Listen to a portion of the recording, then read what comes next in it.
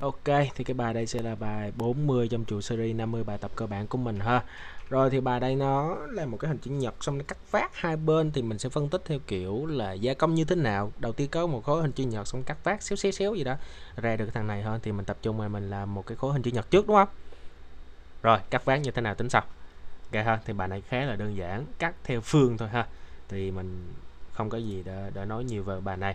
Đầu tiên xây dựng lên một cái khối hình chữ nhật trước để mình muốn làm gì đó mình làm. Có cái hình chữ nhật ra nè ha. Rồi kích thước nó như thế nào? 30 50 30 30 50 và dựng lên 30 rồi ha. Rồi bắt đầu để theo đúng cái hình chiếu cái hướng nhìn mà mình cần ha. Để mình cắt. À thì mình để ý nè cái uh, cái nó cắt vát là một cái hình tam giác 20 10 đây và cắt xéo là một góc như vậy.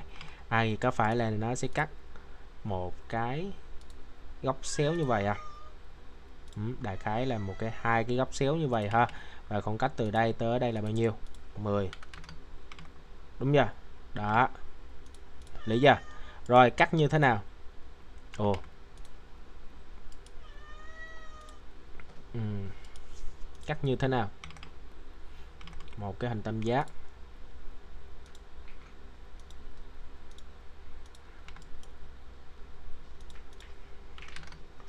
Ok, rồi, cắt. Cắt thâu on luôn đi ha, và chọn vào cái phương nè. Đó. Xong. Tương tự bên này thì sao? Cái hình tam giác còn lại à đấy. Cái góc này khi mà nhìn từ bên bên phải nhìn qua hơn là cái góc cũng 20 à vậy là cái thằng này cũng vậy luôn, một cái góc vát xéo từ đây qua đây xuống. Và đương nhiên cái chiều cao này cũng là hai chục luôn nè.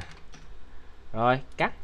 Cũng là thâu on và cắt theo cái phương này. Rồi. Ok vậy là xong. À, cái bài này cũng chưa có gì đó bàn cãi nhiều về nó ha. Ok rồi tiếp tục chương trình quảng cáo.